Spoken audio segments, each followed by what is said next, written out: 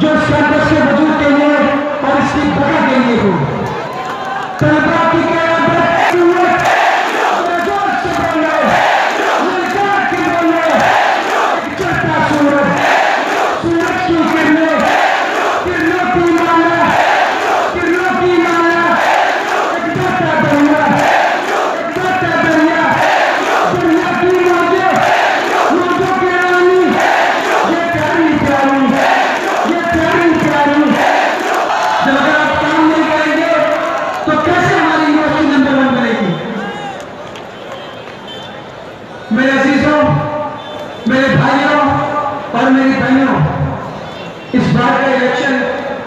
अपने आप में एक अलग इलेक्शन है।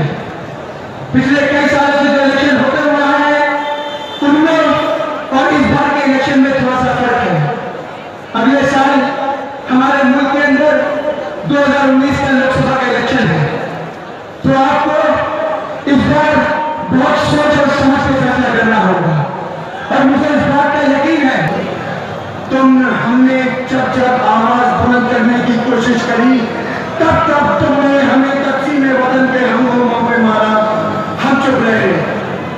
तुमने हमें भागलपुर, मलियाना मेरठ गुजरात, मुजफ्फरनगर, कश्मीर में चलाया हम चुप रहे, तुमने हमें रिजर्वेशन के नाम पे धोखा दिया।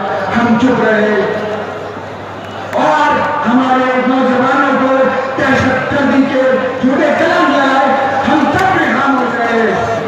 लेकिन कब तक? लेकिन कब तक हम खामोश रहेंगे? ये ताजमहल, ये लाल